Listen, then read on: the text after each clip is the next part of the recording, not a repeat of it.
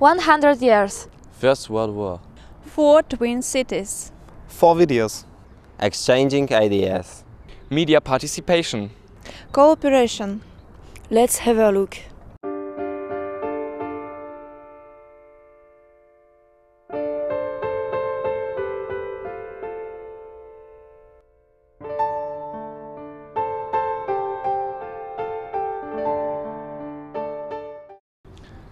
We are French and we're going to present to you the Polish movie. The Polish movie realized in us the role of society in creating the history. So um, we understand now that not only big fights decide about the future of the world, but also the local people whose aim is freedom. Lublin is the first Polish city in which uh, in which Polish society managed to get back in independence after 123 years. First World War was one of the biggest conflicts in the world's history. It started exactly 100 years ago. Most of the biggest European countries were involved in it. The war lasted four years and caused the death of millions of people. The moment the First World War began, Poland hadn't been on the map for almost 120 years. All because of the partitions which were conducted by the Russian Empire, the Kingdom of Prussia, and Habsburg Austria.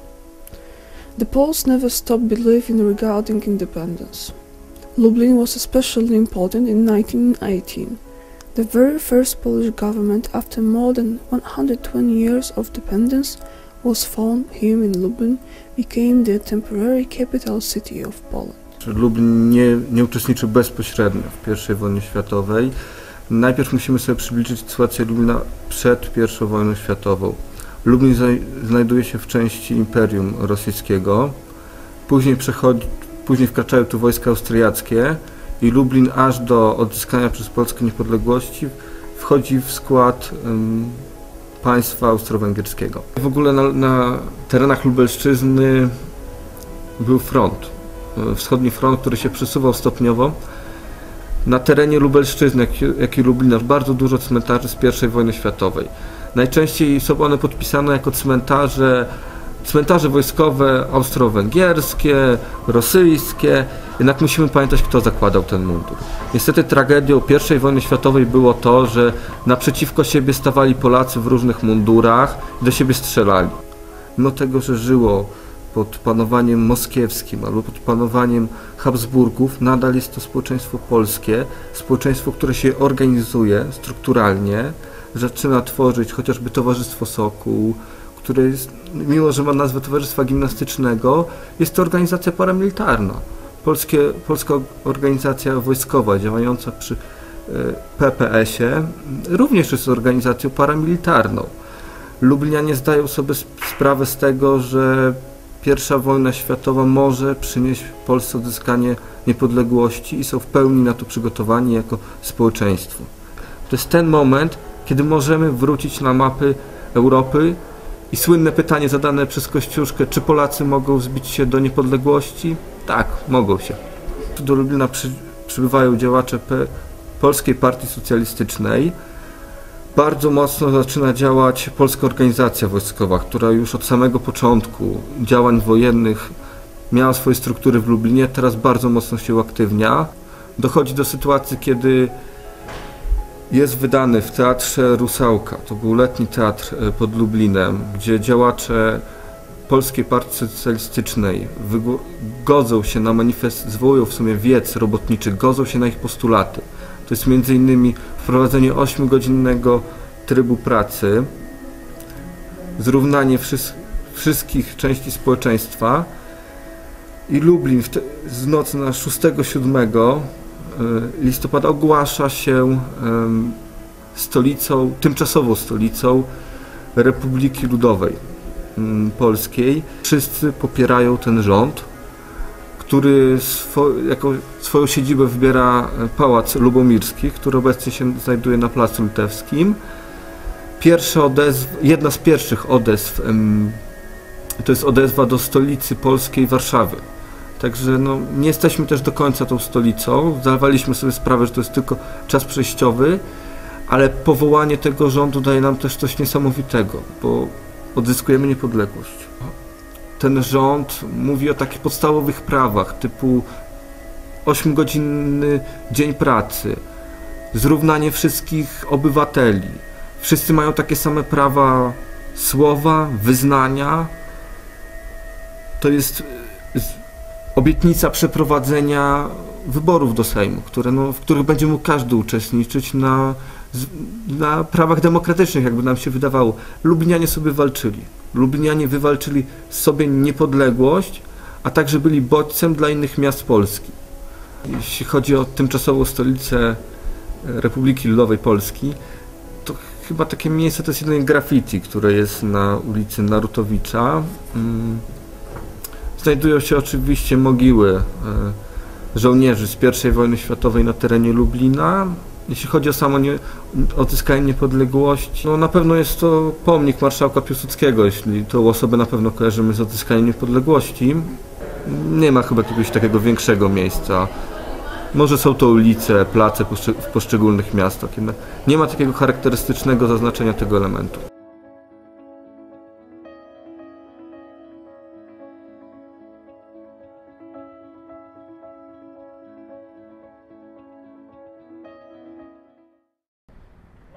Two French pupils decided to create a video report about the First World War. Alexandra and Francois just wanted to gain some knowledge about that part of Orléans history. They interviewed their colleagues and people on the street. After that experience, they learned a lot. Now we would like to share their story. Let's see the result of a common work of the school's friends. Hello, my name is François. Hi, my name is Alexandra. We are students uh, from the high school Saint-Paul Bournon-Blanc in Orléans, the sister city of Munster. This year, we celebrate the centenary of World War I. A main subject was to contact the young people today and collect their impressions and feelings about the celebrations. This video allows you to know a little bit more and what the young people think and their knowledge of the 1914-1980 war. This is also a beginning for us for our next subject, which will be developed later in our school. Bah, pas grand chose. C'est mes cours d'histoire. J'y connais pas grand chose. Je sais juste qu'elle a duré 4 ans, qu'il y a eu beaucoup de morts, beaucoup de blessés et qu'aujourd'hui ça fait 100 ans. Bah, la Première Guerre mondiale, c'est la guerre des tranchées. Euh, bah, les poilus, euh, la bataille de Verdun. Euh, bah, que ça fait surtout 100 ans et que tous les combattants sont morts. Du coup, on ne sait plus trop, on a juste des écrits. C'est un peu triste. Et puis c'est surtout qu'il y a des millions de personnes qui sont mortes. Donc du coup, euh, faut pas oublier. faut toujours commémorer. Euh, ça m'évoque euh, un massacre humain déjà, de premier plan, parce qu'il y a eu énormément de soldats qui ont été massacrés pendant cette guerre, que ce soit des soldats français ou allemands. Et euh, on peut, ça, ça m'évoque aussi euh, la dissolution de beaucoup beaucoup de familles. Bah, je trouve ça triste parce que sûrement, enfin, il y, y, a eu des familles qui ont, enfin, il y a pas mal de gens qui ont dû pleurer pour les morts et tout ça. Et surtout que bah, les soldats qui partaient là-bas, c'était contre leur gré. En fait, ils étaient obligés. Après, il y avait les dirigeants qui restaient dans leur fauteuil et puis, puis qui regardaient ça euh, se faire de loin. En fait, ils envoyaient ça comme si c'était des petits pions comme ça qui allaient se battre. Et puis, bah, c'est un petit peu dégoûtant. Alors, ça m'évoque euh, la guerre, euh, les morts, la violence. Euh, la faim. Bah, la Première Guerre mondiale, bien sûr. Bah après, la Première Guerre mondiale, c'est différent de la Seconde Guerre mondiale. On peut pas dire que les Allemands, ils étaient nazis. Et puis, c'est pas non plus que de la... En fait, on peut pas viser, euh, genre, eux, c'était les méchants, eux, c'était les gentils, parce que des deux côtés, il y avait eu deux grandes pertes. Genre, autant du côté français, du côté allemand, ou même du côté des Anglais. Bah, déjà, la Première Guerre mondiale. Euh, je sais que cette année, bah, c'est le, centenaire, donc on est en 2014. Et il n'y a plus beaucoup quand même de, de poilus. Euh, je crois qu'en France, ils sont tous euh, morts, enfin ceux qui ont fait la guerre. Donc euh, bah, je pense que par rapport à, au devoir de mémoire, c'est quand même important. Pas oublier que c'était une guerre euh, difficile, parce qu'on entend souvent parler de la 39-45, mais euh, la Première Guerre mondiale, c'est vrai qu'on entend moins parler quand même. Bah, c'est un truc qu'on a beaucoup abordé en cours. Je pense qu'il y a eu assez de souffrances comme ça, beaucoup de travail pour les femmes. Après, l'après-guerre, tout ça, ça n'a pas été facile non plus. euh, tout ce qui est manque d'argent, etc., la reconstruction euh, politique et sociale. Bah, je trouve qu'il y a quand même pas mal de reportages qui évoquent la guerre, des sortes de mémorials, beaucoup de, de reconnaissance envers les guerriers. Et je trouve ça plutôt bien, quoi, qu'il y ait cette euh, reconnaissance vraiment euh, présente. Bah, c'était le premier, euh, c'était le premier conflit international. Ça a été le deuxième conflit le plus meurtrier du monde. Ça, a été responsable d'une nouvelle phase de la planète. Et encore aujourd'hui, après 100 ans, on s'en- souvient. Il y a encore des séquelles. puisque tout le monde a été mobilisé. C'est pas seulement les hommes, même si c'est eux qui sont morts le principalement en France que ce soit euh, les femmes qui étaient munitionnettes et euh, qui devaient s'occuper de créer les munitions, ou même les enfants qu'on conditionnait comme euh, pour, pour, pour devenir des soldats plus tard, si jamais ils arrivaient à l'âge adulte. Bah, ça m'évoque bah, la Première Guerre mondiale, c'est quand même un, événement marquant de notre histoire. Donc je pense que c'est important de fêter cet événement et bah, surtout l'armistice. Et je pense que c'est important de, fêter cet événement, de, rappeler aux personnes euh, que ça s'est passé et puis euh, aussi peut-être de sensibiliser euh, les plus jeunes euh, à cet événement. Surtout la commémoration, je pense que c'est important aux jeunes d'aujourd'hui de savoir ce qui s'est réellement passé pour pas oublier parce que ça fait partie de notre histoire.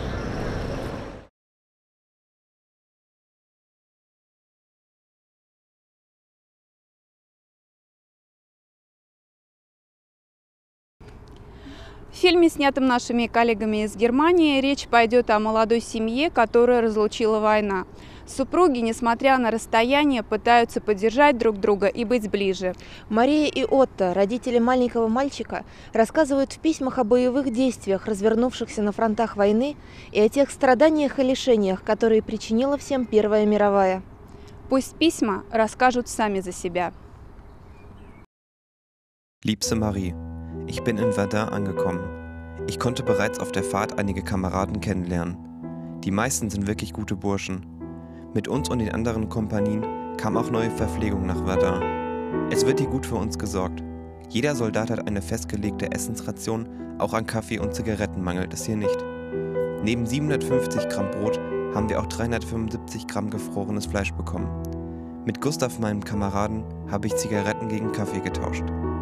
Auf der Fahrt gingen Gerüchte um, dass es an der Front unheimlich sein soll. Ich vermisse dich und werde dir so bald wie möglich schreiben.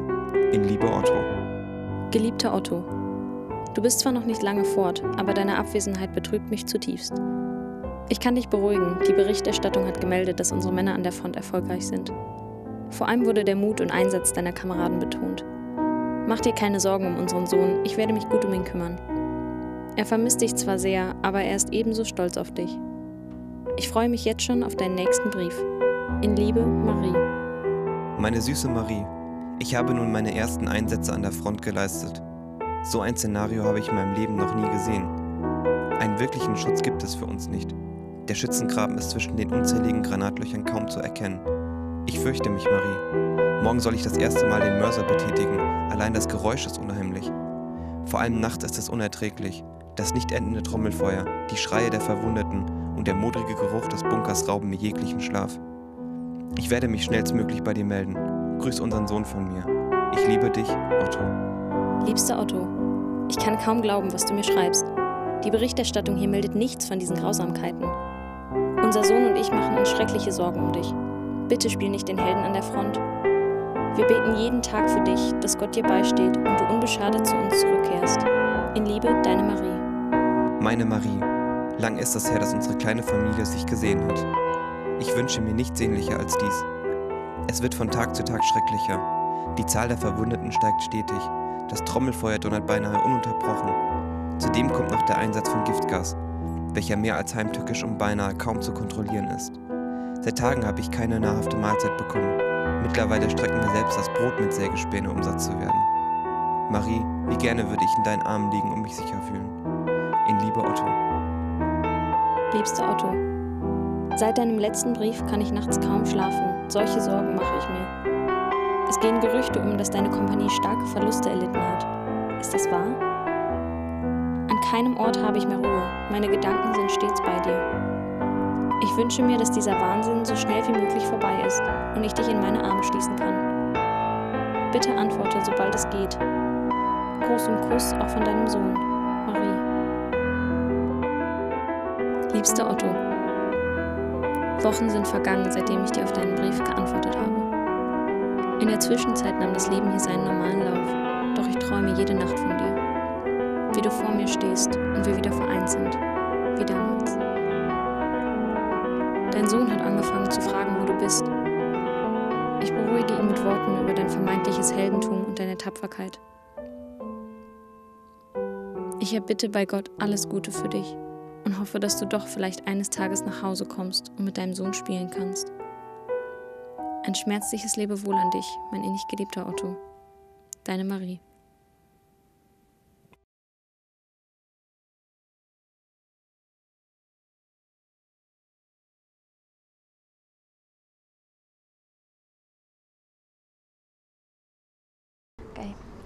We Polish were able to learn the experience of the First World War in Germany. But how it looked in the neighboring country? Our Russian team members dedicated themselves to this task. They were able to see the war in a different light and the differences in the historical investigation of that event between present time and 100 years ago.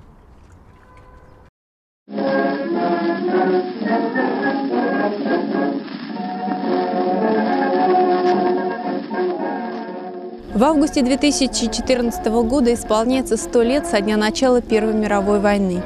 В памяти российского народа эта великая война надолго оставалась забытой. Она была пере